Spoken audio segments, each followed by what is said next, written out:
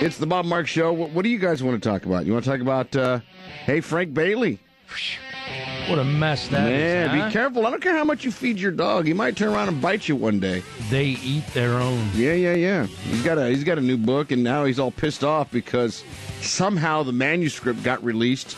And I Somehow. I, I just you know I I'm scratching my head on this one because the guy that's got the manuscript, this guy Joe McGinniss. Now we all know who Joe McGinniss is, right?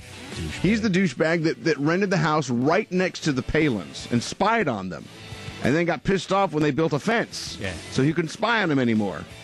Uh, he got the manuscript and has been now releasing it, and so they're all pissed off. Of course because they're he like, "Well, why is anyone going to buy our book now? if They got the manuscript." I said, "It's doing exactly what he wanted it to do."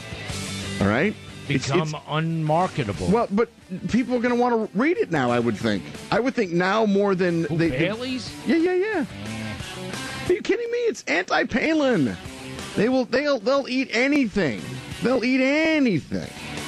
They're, they're like sharks. They'll eat each other. Yeah, yeah, yeah. So this is the guy that that uh, was a confidant, was the inner circle, and now he's got a book out. And, and uh, the people that he employed to help write this book, really? All right. Yeah. It's just okay. Well, you know, the thing about Frank Bailey is Frank Bailey makes Jimmy Carter's brother Billy look like Einstein. okay. He's one of those guys. Yeah. You know, a derf. You know, who just happened to get lucky to be a friend of the family. Sure.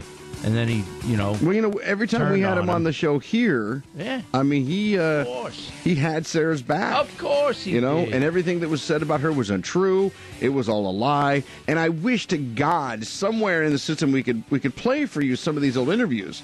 But I'm telling you, it was all they just don't get her. They don't understand her. It's not true. None of this happened the way that they're saying it happened. Yeah. It's all BS. Blah blah blah blah blah. They're throwing Sarah Palin under the bus. And then lo and behold, wait a second, uh, I'm going to write a book and say exactly the opposite of everything that I've said before. Mm-hmm. Okay. That's one thing I cannot abide by. Oh yeah. A rat. Hey, uh, I don't. I. It's one of my things. I. John Ziegler said on this program, and, and one of the most profound things that he has said is he's put his life's work and a lot of his money into being a pro Palin person. If he wanted to make money, it'd been very easy for him to write a book uh, bashing her. Of course. You know, he, he- course. and and that's that's the fact. I was in the inner circle. Right. We probably probably could do better. I mean, we do great in the ratings. Don't get me wrong. We're still kicking everyone's ass, and that's fine. Sure. But we could probably do better if we wanted to rip on Sarah Palin. You know, if we wanted to join in that little feeding frenzy. I could never I mean, do here we are in the state of Alaska where her approval ratings are at what thirty something percent, which Yeah. means that seventy some odd percent of you don't like her. Right. So it bothers you immensely when we say things that are positive.